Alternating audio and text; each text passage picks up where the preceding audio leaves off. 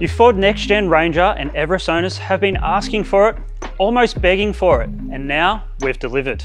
Enter the Next Gen Rally Bar. All modern vehicles are becoming smarter and smarter, but if you've had a close look at the front of your Next Gen, there's no exception. With cameras, radar, and parking sensors all in close proximity to each other, these pose design constraints that wouldn't normally be thought about on earlier models. We've tactically designed a rally bar to not only work around all of these features, but also enhance the look of your rig. Now, you're here to figure out how to install it. So grab a cold one and let's jump straight in and walk you through each step. All right, the first thing you wanna do, once you've lifted the bonnet, you've got many screws here. So they're a little bit tricky. You just wanna get a small Phillips head screwdriver, hold the little washer part and very carefully unscrew the top. And once you've got all these screws out, you want to unthread it from this air intake here. Now we need to get this grill off. There's two bolts at the top, one on each side that holds it in and a bunch of clips at the bottom. So grab your 7mm socket and we'll get these long bolts out. So now that we've got our bolts out, there's a couple more things. We've got our washer jet for the front camera and the camera wiring. So right next to this bonnet latch is your little Christmas tree clip and a little uh, squeezy clip to disconnect the water hose. Over the other side, you'll see a brown electrical clip. So what we want to do, there's a couple little clips that hold it down to the radiator subframe. We want to pop them up and then press the brown clip together and separate the wiring. So let's get this grill off now. So the grill goes all the way from headlight to headlight. First thing to do is get the couple clips from behind here all that is, is just getting a little bit of pressure, maybe one hand on the headlight here and pull the grill. You just need a little bit of pressure and it will pop. So pop each side. So there's eight clips all the way to, along the bottom of this. So you just put some tension on the grill and just firmly pull it out. There's this big plug on the top here. That's actually the whole loom for the bumper. So we want to disconnect this here. We've got two 10 mil head bolts and three little plastic clips. Trim tool really helps for this, but flathead screwdriver will also work.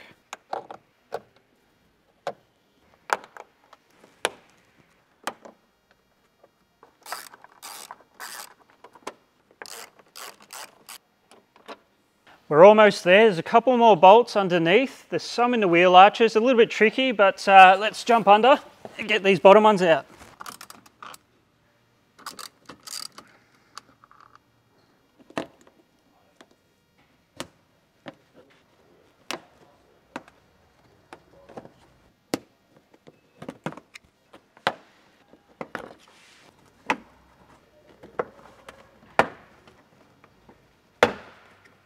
So I've already popped this flare off, but if you look closely, it's a little bit tricky. So what you want to do is jump right underneath, thread your arms from the bottom, reach up to each one of those clips starting at the bottom, push this one in quite firmly as you're pulling this flare out from the vehicle and jump along to each clip. And once you get these first three done, we need to jump around into the wheel arch and there's a little cover plate there. We'll remove that so we can reach in Get this top clip and there's three bolts attaching the bumper to the fender. Once you've got these three bolts out, right in the center is a clip that holds the bumper to the fender as a last resort. So it will hold it up. You just want to carefully carry the weight of the bumper, squeeze that clip as you're pressing down, and as soon as that releases, your bumper will drop a couple inches. Ah,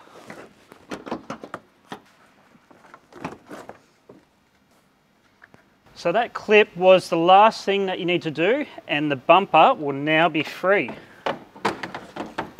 Very carefully remove it from the vehicle and pop it aside. All right, so next part of this install involves putting this chassis bracket on. First thing is removing this polystyrene here. There's a couple of clips holding it on. They remove exactly like the other clips that we did earlier. You'll notice once you offer this up, We'll actually need to trim a little bit of this, uh, this air dam here, this plastic air dam. Once that is trimmed, we'll grab the template, I'll show you that in a moment. Once that's trimmed, this is removed, this chassis bracket will bolt straight up. So once you grab your template out of the kit It is a template that will be used on both sides. Grab yourself a pen, it will line up. It's a bit of a funky shape. It'll line up with the shape that is on the soft rubber here. Mark the two little corners. So just poke your pen through on the center lines and then mark all the way around.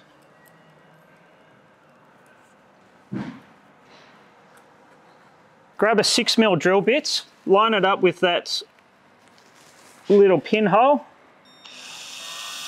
Very carefully drill it through on each of the four corners. All right, now that we've drilled our two holes, we want to cut each of those three lines there. It is quite thick plastic, so we want a fine tooth saw or a reciprocating saw or even a grinder. So you just very carefully want to cut down each line and just carefully break that out. Don't forget your safety glasses.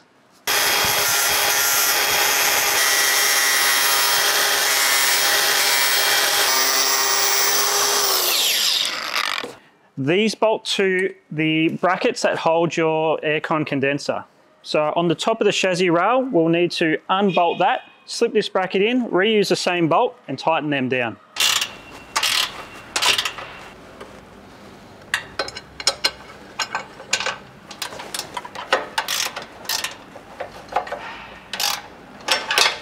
Now that we've got our stabilizer brackets in, we want to whip out these four bolts. There's two per side, the two outers. We'll get them out, we'll offer up the main bracket to the chassis, reuse the same bolts, and then we'll line everything up and pop some bolts in these top ones here.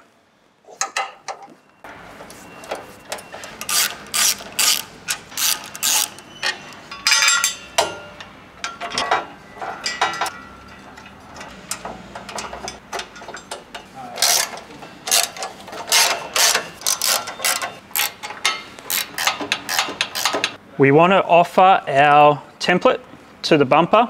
We have these four holes here. This one is obviously eccentric. We want to line up these two holes here. This crosshair, this crosshair with the dotted round line is where we need to hole saw to get the studs through from the subframe bracket through to the outside of the bumper. Ballpoint pen again, and we just want to push through and leave a witness mark on the painted surface here. And once we have these witness marks, grab the six mil drill bit that you had before and very slowly drill through.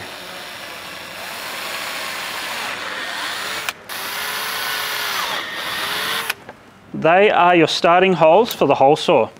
You just want to very carefully start spinning the hole saw perpendicular to the surface here. Very carefully drill through.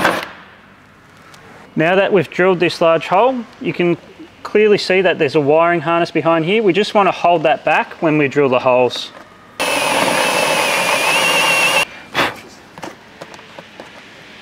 All right, grab one of your most trustworthy friends. They're gonna have to hold the other end of the bumper for you. Very carefully pull the flare out here, offer up the bumper. And if you remember that clip that we had in the center, that was holding the, the weight of the bumper, line that up, Make sure the studs from the bracket, the main chassis bracket, are protruding through. Everything lined up and click it into place. Okay, bumper is reinstalled. We want to basically pop all the clips, all the bolts, everything back together. Don't forget anything. We've got the three bolts in each side, the bolts underneath, click the flares back in, get all this bolted back, and then we'll move to the next step of installing our cage nuts here and the rally bar, the grill and the rally bar. The upright plates are there to help stabilize the rally bar once the weight's on it. So the cage nuts will squeeze in, you squeeze them really firmly, insert them into the back until they snap in, and then once the grill is back in place, we want to put this, uh, this plate through and a bolt through the opening in the grill and tighten that up on the cage nut.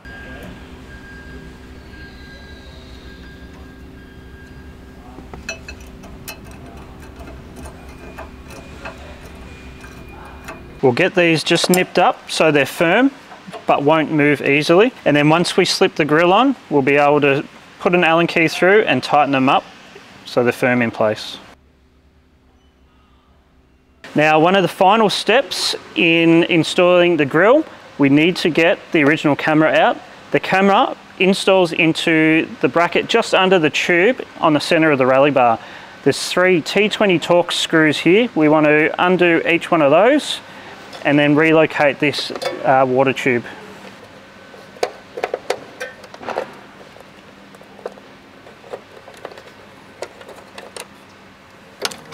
Just with a small little screwdriver, you want to get sideways in these little clips.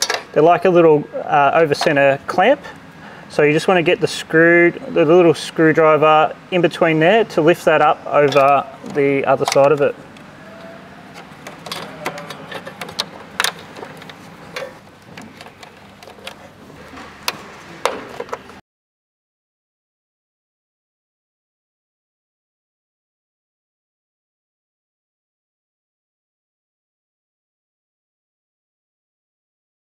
So what we want to do is squeeze this clip here and remove the water and unthread that out of the cage. Once the camera is removed from the cage, reinstall that back into the grill. So now that we've removed the cable from the grill, we want to be able to run this on the most direct route all the way to the new camera position. So what we want to do is plug this back into the original brown cable holder here, run it straight through this opening here, through the original camera hole right below that Ford emblem, and get it into position that we can plug it straight back into the rally bar when we install that.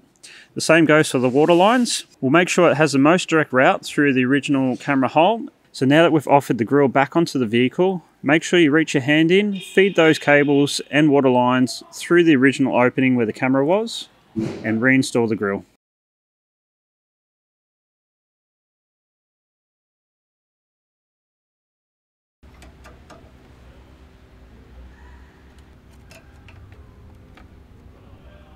So now that we've got the grill on, we've sent the camera wire and the water line through.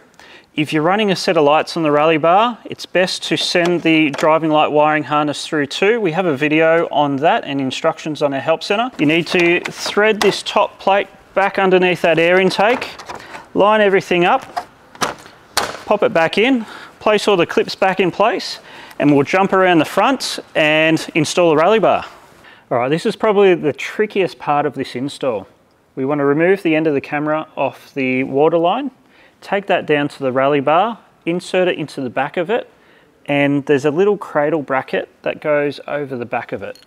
So once that's inside the back of the rally bar, we want to get around the front. There's a couple little small two and a half mil Allen bolts and we want to bolt that down. There is a welded captive thread on this little U-bracket. So once that's in there, we can offer the rally bar to the vehicle and plug it back in.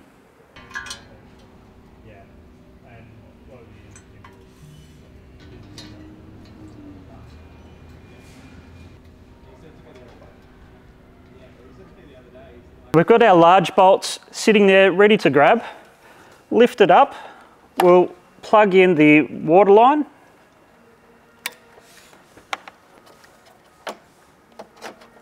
And the camera power.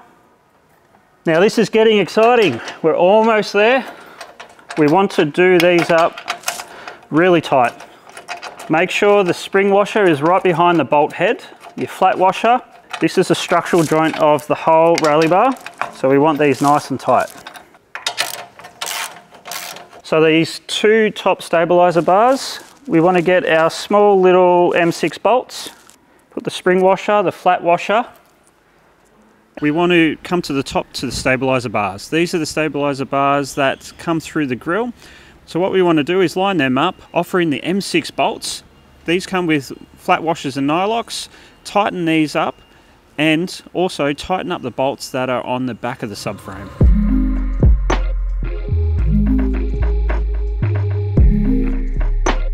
So that's a quick wrap up of our next gen rally bar. If you have any questions, feel free to reach out. And to stay up to date on all of our new products, make sure you like, subscribe and follow us on all of our socials.